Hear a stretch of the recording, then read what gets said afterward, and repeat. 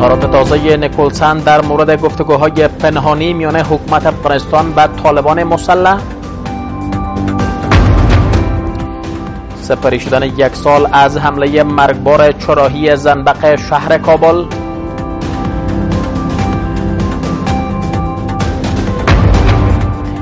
و وزیر خارجه روسیه وارد کوریای شمالی شد.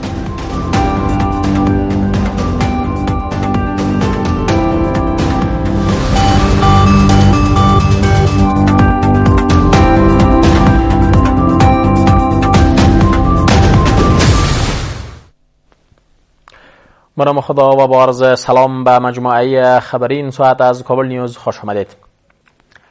مشروع خبرها. قماندان نیروهای خارجی در افغانستان می‌گوید که گفتگوهای پنهان با طالبان مسلح جریان دارد. جان نیکولسن در یک نشست خبری از طریق ویدیو کانفرانس و خبرنگاران در واشنگتن گفت که تلاش های دیپلماتیک و گفتگوها میان حکومت افغانستان و طالبان مسلح جریان دارد و در این گفتگوها امریکایی ها نیز سهم دارند. شورای سال نیز گفتگوها با برخی از سران طالبان مسلح را تایید می کند از سوی دیگر قماندان عمومی نیروهای خارجی در افغانستان می‌گوید که در کنار سال تلاش های نظامی نیز جریان دارد و به تازگی یک نشست مهم این گروه در ولایت هلمند هدف قرار گرفتند که در نتیجه آن شمار زیادی از سران طالبان مسلح کشته شدند. قماندان عمومی نیروهای خارجی در افغانستان که قرار است افغانستان را ترک کند در حصارات تازهش از گفتگوهای پنهانی صلح با برخی سران طالبان مسلح پرده برداشته است. جان نیکولسن که ماموریتش در افغانستان به پایان رسیده است از طریق یک ویدیو کنفرانس به خبرنگاران در واشنگتن گفت که تلاش های زیاد دیپلماتیک برای گفتگو میان حکومت افغانستان و طالبان مسلح جریان دارد و گفتگوهای پنهانی نیز میان دو طرف نیز صورت گرفته است. و این نگفته است که از جناهای طالبان چه کسانی در این گفتگوها دخیل هستند. اما افزوده است که سران بلندپایه و متوسط این گروه در این گفتگوها اشتراک دارند.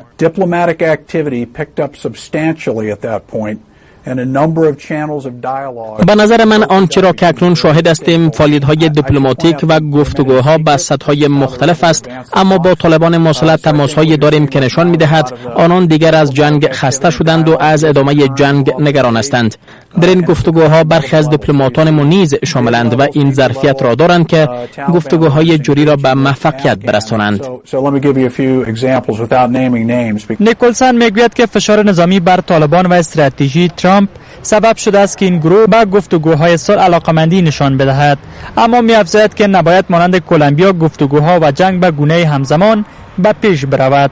وی به سلسله این فشارها به آن عملات راکتی در هلمند نیز اشاره می کند که به تاریخ 23 می بر یک نشست طالبان مسلح در ولسوالی موسی قلعه صورت گرفت و در نتیجه آن ده ها تن سران این گروه که در جنگ فرا دخیل بودند کشته شدند نیروهای خارجی ویدیوی تازه این حملات را نشر کردند The senior uh, Taliban leader who was there was the deputy shadow governor of Helmand.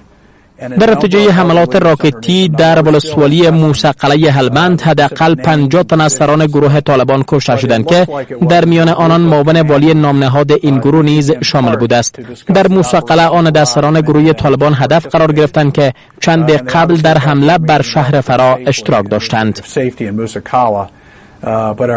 از سوی دیگر معاون شورای عالی صلح نیز می‌گوید که یک سلسله تلاش ها جریان دارد و سفرهای اخیر به پاکستان نیز به همین هدف صورت گرفته است. اما می افزاید که طالبان مسلح با امریکا نیز تماس های مستقیم دارند. دا کوششونه است. دا کوششونه روان دي او شوي دي او خصوصا اوس زمونږ تاسې یو لوړپوړی هیئت پاکستان ته تللی او هغه هم په دې برخه کې یو څه امیدواریان ځان سره راوړي دي. او دې کوم شک نشته چې د طالبانو او د امریکایانو منځ کې خبرې شته. کار ډله انکار کوي دا اس بزای ده کنه دوی منځ کې ډیر په خوانه بندیان سره خلاص کړو لکه دغه د ګوانتنامو باندې سره موافقه ته دغه باندې د قطر دفتر باندې چې موافقه ته ورسېدل. دا ټول دغه د لار نه و د دوی د اصطلاح منځ کې ارتباطات او خبری وی اما مقام های پیشین طالبان میگوید که آمریکا در افغانستان شکست خورده است و اکنون مقام های آمریکایی به خاطر شدت پیدا کردن جنگ این گونه اظهارات را بیان میکنند. زه فکر کوم چې امریکایان په افغانستان کې مات دي. د خپل مات نه مني. دوی کوشش کوي چې په افغانستان کې یو داسې لار خپل کې چې هغه د روسانو غوندې لار نه وي چې په امریکا کې سبا دوی ټوک ټوک سی او په امریکا کې دوی ته ماته په امریکا کې پر ګاډه سي دوی کوشش کوي د دې رقم د دې خبرې چې دوی په افغانستان کې موضوع په داسې رقم باندې حل کړي چې افغانستان افغانانو ته صلحیزه پریردی او دوی د افغانستان سووزی بدنام نشي تا هنوز طالبان مسلح در این باره چیزی نگفتند اما پیش از این این گروه با آغاز نمودن عملیات بهاریشان زیر نام خندق ظاهرا طرح صلح حکومت وحدت ملی را رد کرده و بر گفتگوهای مستقیم با آمریکا تاکید کردند. از حمله مرگبار تانکر بمب در چراهی زنبق شهر کابل یک سال سپری شد اما نتایج بررسی های این حمله تا هنوز نشر نشده است. سال گذشته در همین روز در چراهی زنبق شهر کابل به بیش از 500 تن تلفات وارد شد. رویداد که هیچ جناح مسئولیت آن را بر عهده نگرفت و نه هم نتایج تحقیقات حکومت با مردم شریک ساخته شد. آگاهان سیاسی می‌گویند این گونه رویدادهای مهم که بررسی نمی شود ممکن در آن مقام های دولتی و یا هم خارجی ها دست داشته باشند. اما ریاست اجرایی می‌گوید در حملاتی که تلفات ملکی بیشتر می باشد گروه های مسلم مسئولیت آن را بر عهده نمی‌گیرند اما اداره های امنیتی باید معلوماتشان را با مردم شریک بسازند. صبح روز سی یکم ماه می سال گذشته 2017 میلادی انفجار خونین تانکر بم در چهارراهی زنبق شهر کابل صورت گرفت که در نتیجه آن 180 تن کشته و بیشتر از 320 تن دیگر زخمی شدند. از این انفجار بزرگ و مرگبار در منطقه دیپلماتیک شهر کابل یک سال سپری می شد. انفجاری که نه در پیوند با آنان نتایج تحقیقات حکومت اعلام شد و نه هم هیچ جناحی مسئولیت آن را پذیرفت. تمام اداره های مربوط حکومت از ابراز نظر در این باره خودداری می کنند اما معاون سخنگوی ریاست اجرایی در آخرین کنفرانس آژانس خبریش می‌گوید که اداره های امنیتی باید نتایج تحقیقاتشان را در رابطه با این رویداد با مردم شریک کنند. و می‌گوید مسئولیت حملاتی که منجر به تلفات بیشتر ملکی می شود را گروه های مسلح بر عهده نمی‌گیرند. اما هغه حمله چې هغه ډېرې لوی حمله او هغه کې د ملکیانو تلفات ډېر زیات وي تروریستان هیڅ وخت د هغه مسؤلیت نه طالبان بیخي نه اخلي ځینې وختونه پرېږدي چې هغه داعش مسؤلیت واخلي تر څو د هغوی په ارتباط کرکه زیاته سي او طالب په ارتباط کرکه زیاته نه سي. اما په ټوله کې ادرس یو دی مدیران هماغه کسان دي او په ګډه له یو بل سره کار کوي دا ډلې دا ګروپونه. د افغانستان د کورنۍ چارو وزارت او دفاع وزارتونه په هغه ادارې دي چې په دې ارتباط باید دقیق معلومات ولري چې چا دا حمله کړې وه څوک دقیق شریک و.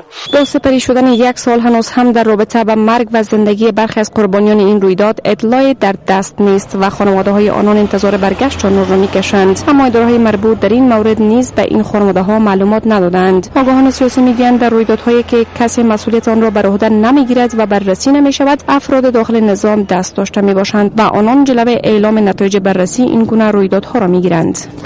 په ډیرو مسایلو کې ویل کیږي چې د پارلمان او د اجرایه قوی او د قضایه قوی د موټرو او امکاناتو نه استفاده کیږي نو کله چې مسله د دوی په نمونه راشي د دوی په هویت راشي د دوی په همکاري او ملاتړ راشي هغه مسایل دوی په خپلو کې سره خنثا کوي او پټي ساتي. او نه پرېږدي چې دغه اصلي حقایق د افغانستان خلکو ته او نړیوالو ته قابل ذکر است که علاوه بر حمله تانکر بم به چهارراهی زنبق شهر کابل شاهد حملات خونین و بزرگ دیگر نیز بوده است که تا هنوز مسئولیت این حملات را کدام گروهی بر نگرفته است. و نتایج تحقیقات حکومت نیز در پیوند با آن اعلام نشده است. شورای راه نجات افغانستان می‌گوید که رئیس جمهور امریکا به جنگهای صلیبی و نفاق افغانی میان ادیان دامن می‌زند. اشتراک کنندگان نشسته که از سوی این شورا فرا خوانده شده بود می‌گویند که افتتاح سفارت امریکا در بیت المقدس عمل برخلاف تمامی قوانین بین المللی است و امریکا عمدن میان ادیان آتش و جنگ را شعله می سوزد برخی از اشتراک کنندگان دیگر نشست این اقدام امریکا را جنایت بشری و تجاوز بر اساسات اسلامی می‌خوانند. واکنش ها در برابر افتتاح سفارت آمریکا در بیت المقدس نخستین قبلی مسلمانان و بر رسمیت شناختن این شهر به حیث پایتخت اسرائیل از سوی آمریکا تا هنوز ادامه دارد. اینجا نشست بزرگی در رابطه به همین موضوع از سوی شورای نجات افغانستان برگزار شده است. اشتراک کنندگان این نشست می‌گویند که بیت المقدس نخستین قبلی مسلمانان است و این وظیفه تمام کشورهای اسلامی است که در برابر این فیصله آمریکا خاموشی اختیار نکنند. آنان می‌گویند که آمریکا با این کار می‌خواهند تا زمینه جنگ های تازه میان ادیان مساعد سازد. اسلامي مقدسات دا د مسلمانانو حق. دا د اسلامي مقدساتو سره دا د مسلمانانو حق دی د مسلمانانو قبله ده. کچیر موږ د بیت المقدس د پلازمینې ګرځول مخالفت نه وکړو په خانه کعبه شریف وبېره ځکه دا یو امتحان دی. نو موږ داسې غلطي باندې کړو چې موږ د فلسطین د برحق داعیې طرفداران یو په دې باندې ظلم شوی ناروا شوی.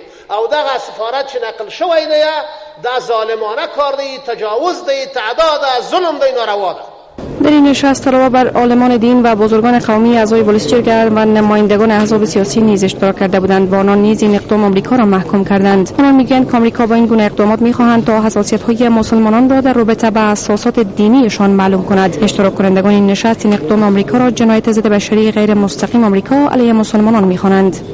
د امریکا او د امریکا د جمهور د عمل سخت غندنې مستحق ده. او دا مونږ په کلکو ټکو سره غندو که د امریکا د ولسمشر د ټرمپ دغه عمل د نړۍ د قوانینو خلاف وي نړۍ ولې په وړاندې چپ پاتې ده دا خو د ټولې نړۍ د مسلمانانو په حریم باندې عمله وسه د امریکا ولسمشر وکړه د جهان د قوانینو خدا خلاف یو عمل وسه د تر سره کړ دنیا ولې دې ته چپ پاتې ده در همین حال رئیس شورای راه نجات افغانستان از حکومت افغانستان میخواهد تا زمینه را برای افتتاح سفارت فلسطین در افغانستان فراهم سازد. نو مر به د دې دغه کو ټینګار په دې کو چې فلسطین یو وخت دلته سفارت درلودي حتی د کمونیسټانو په وخت کې وای دلته سفارت وو ما اوریدل حکومت ته به ټینګار کوو چې یو خو سره دا خبره ومني چې د فلسطین سفارت دلته خلاص شورای راه نجات افغانستان انتقال سفارت آمریکا از تل بیت به بیت المقدس را در حال محکوم می کند و این اقدام آمریکا را جنایت ضد بشری می خواند که پیش از این سازمان همکاری های کشورهای اسلامی در نشست فوق العاده در ترکیه با این فیصله آمریکا مخالفت نشان داد و آمریکا و اسرائیل را به دشمنی با اسلام و مسلمانان متهم کرد. اداره محافظت از اطفال در رابطه به وضعیت کودکان افغان ابراز نگرانی کرده است. اداره بین المللی سفت چلدرن در گزارش سالانه اخیرش در رابطه به وضعیت کودکان گفته است که کودکان افغان در وضعیت بسیار بد قرار دارند. در گزارش آمده است که از هر صد کودک هفت کودک پیش از رسیدن به سن پنج سالگی جان می‌دهد از هر صد کودک چهل کودک از رشد ناسالم رنج می‌برد و سه اشاریه پنج میلیون کودک دیگر از تعلیم محرومند در این گزارش همچنان آمده است که افغانستان شامل 16 کشوری است که کودکان در این کشورها با مشکلات زیاد مواجه هستند. این گزارش در آستانه اول جون روز بین المللی کودک نشر شده است.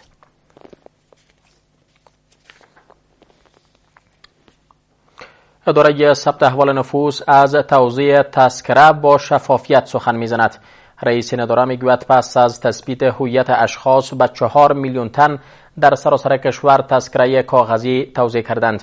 اداره ثبت احوال نفوس ادعای برخی اعضای ولوسچرگه را در رابطه به توزیع چهار میلیون تذکره جلی به اساس می‌خواند و می‌گوید حکومت قصد ندارد که توسط تذکره های کاغذی انتخابات را مهندسی کند. در حالی که پیش از این گزارش های وجود داشت که در برخی ولایات به شمول کابل تذکره های جلی توزیع شده و در ضمن با وجود داشتن تذکره های اصلی تذکره های مصنا نیز توضیح می شود ادعاهایی را که برخی اعضای پلیس جرگه به شمول لالای حمیدزی نماینده ولایت کندار مطرح ساخته است و گفته است که 4 میلیون تذکره جلی از سوی حکومت توزیع شده است. اما رئیس اداره ثبت احوال نفوس به خاطر امین ادعاهای اعضای پلیس جرگه و نگرانی های توزیع تذکره های جلی و مصنا در اینجا حضور یافته است. وی ادعاهای لالای حمیدزی را به اساس می‌خواند و می‌گوید از لوی سرانوالی خواسته است تا این موضوع و موارد دیگر را بررسی کند. اداره ثبت احوال نفوس می‌گوید که کمپاین توزیع تذکره های کاغذی آسان و نامطمئن نیست. ما تمام ادعایی که از هر آدرسی در این پروسه وارد میشه این ادعا را محول به ارگان عدلی و قضایی خاص ساختیم و هر کسی که در هر سطحی مرتکب جرم میشه مرتکب تخطی میشه قابل پیگرد قانونی است.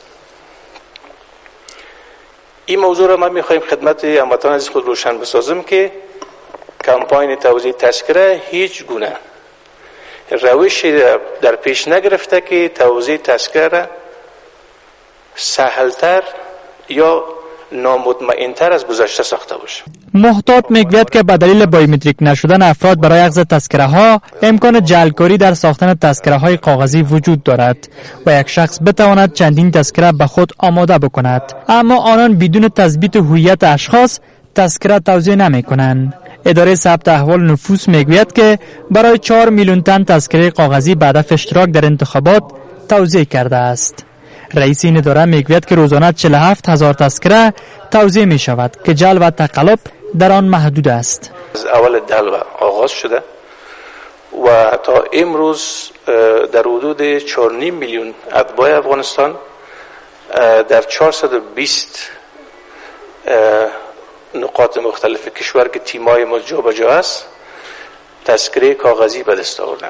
اداره ثبت احوال نفوس در حال توزیع 4 میلیون تذکره جلی را سوی حکومت رد می کند که پیش از این نمونه های از این تذکره های جلی را میرویس یاسینی نماینده ولایت کندهار نیز بر رسانه ها شریک ساخت. اما این اداره این موارد را اندک می خواند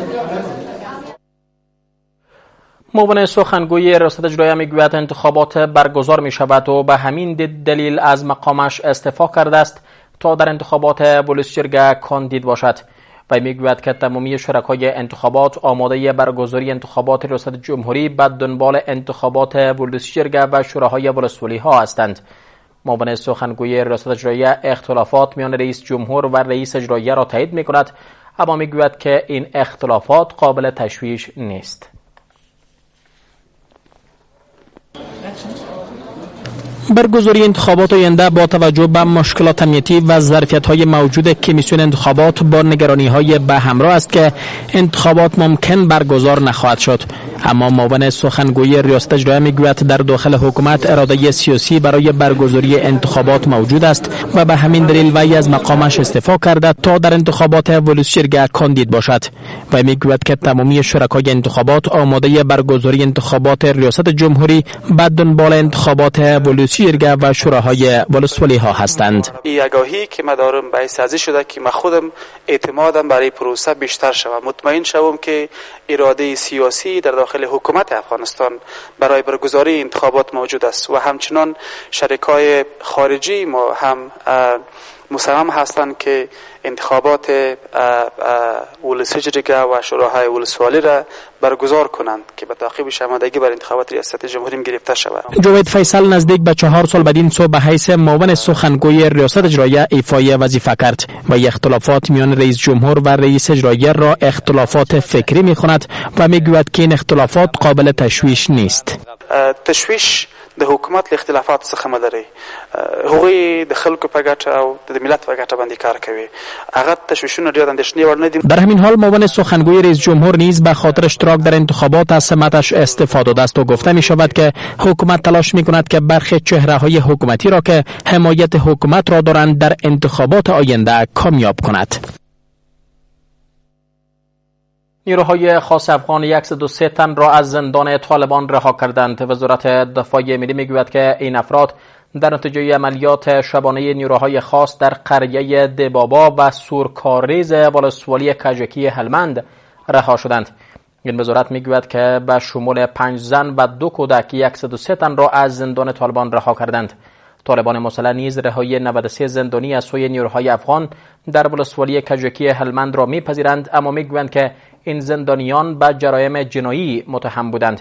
نیروهای امنیتی افغان پیش از این نیز چندین بار دهاتن را از زندانهای طالبان در این ولایت رها کردند. هفتن از منصوبان اردوی ملی هر یک از یک تا 20 سال زندان محکوم شدند. این هفتن که چند قبل در ولسوالی مومندره ولایت ننگرهار پولهای یک سراف را به غارت برده بودند در محکمه نظامی قول اردوی دست یک سیلاب به گونه علنی محاکمه شدند. از سوی دیگر اعضای شورای ولایتی و فعالان مدنی ننگرهار از این فیصله استقبال می کنند و از حکومت می تا قانون را بر همه به گونه یکسان تطبیق کند. محکمه ابتدای نظامی قل اردوی 201 سیلاب هفتن از سربازان و افسران اردوی ملی را که چند قبل 70 هزار دلار امریکایی و 11 لک ریال سعودی یک سراف را دزدیده بودند به گونه علنی محاکمه کرد. محکمه نظامی قلوردوی 201 سیلاب قماندان طوله سخیله کندک دوم این قلوردو را به 20 سال حبس و پرداخت 70 هزار دلار و 5.5 لک ریال سعودی قماندان بروک را به 12 سال حبس و 4 تن از محافظان را به 8 8 سال حبس و پرداخت 20 هزار ریال و یک سرباز دیگر را به یک سال حبس تنفیزی محکوم کرد.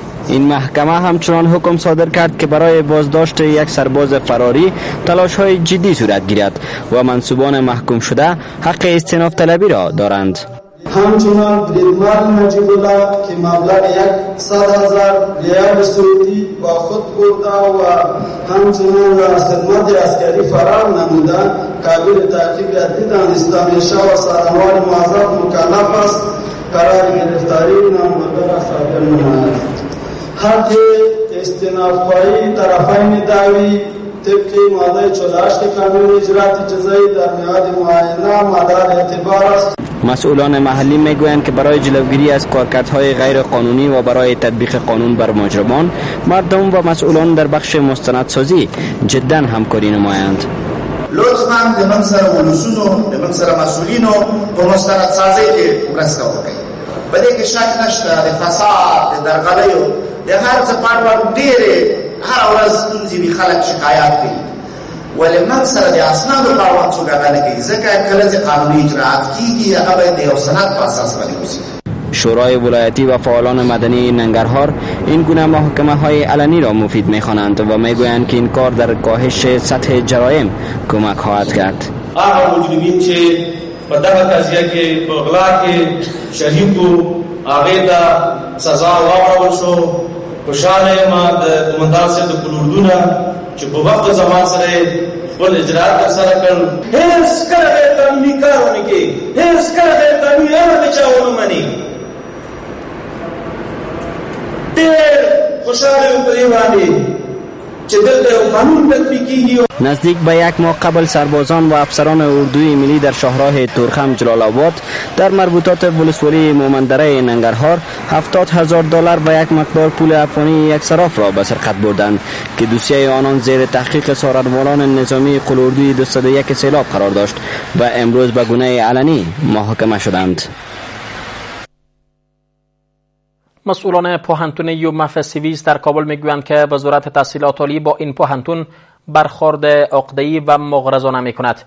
مسئولان این پوهنتون خصوصی می‌گویند که بر اساس حکم استر محکمه فعالیت آنان قانونی است اما با آن هم وزارت تحصیلات عالی در دوسیه آنان مداخله کرده و می‌گوید که این پوهنتون از قانون تخطی کرده است مسئولان پوهنتون می‌گویند که در سال 1392 از وزارت تحصیلات عالی به جواز فعالیت به دست آوردند اما این وزارت دو سال قبل فعالیت پوهنتون یومف سیویس را غیر قانونی اعلام کردند. در همین حال وزارت تحصیلات عالی می‌گوید که پوهنتون به نام یومف در سیویس وجود ندارد و به همین دلیل فعالیت این پوهنتون غیر قانونی است. در رفت بزرگوارا که من نامش نمی‌گیرم اینا به یک سلسله شاید زدن و خواستن که ذهنیت شخصیت های ملی در مقابل پانتون یومف مخصوص سازن پانتون یومف سیویس مقیم ژنو یک نهاد تحصیلی خصوصی بوده که مطابق قانون فعالیت می‌کنن یعنی من فکر می‌کنم که اگر موضوع ضرورت هیچ پیش خبرهای خارج از کشور پس از این وقفه.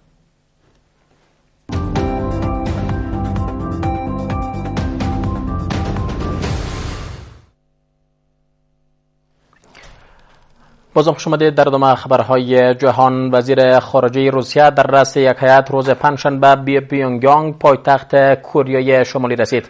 رسانه های روسی گزارش دادند که سرگ لاوروف در سفرش به کوریای شمالی با کم جونگ اون رهبر این کشور ملاقات کرده و از وی دعوت کرده است که بر روسیه سفر کند. سفر وزیر خارجه روسیه به پیونگیانگ در حالی است که قرار است ماه آینده میلادی رهبران کوریای شمالی و امریکا در سنگاپور با هم دیدار کنند و در حال حاضر نیز یک هیئت کوریای شمالی به امریکا سفر کرده و با وزیر خارجه امریکا دیدار و گفتگو کرده است. گزارش ها می رسوند که در دیدار هیئت کوریای شمالی با مقام های امریکایی جانب امریکا بر خل سلاح اتمی جزایر کوریا تاکید کرده است.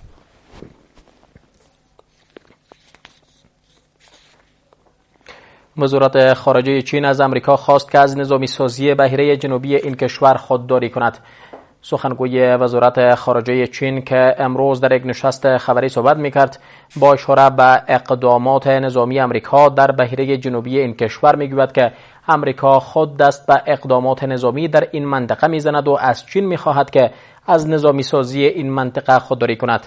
سخنگوی وزارت خارجه چین دفاع از قلمرو خود را حق بیجینگ می‌خواند و می‌گوید که تا زمانی که مورد هدف قرار نگیرد کسی را هدف قرار نخواهد داد.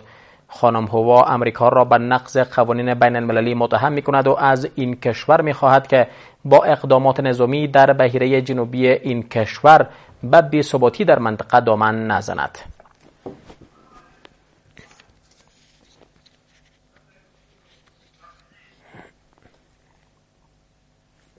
سرویس خبری ما در همین جا به پایان رسید. از همراهیتان. تا دیگر الان نگهدار.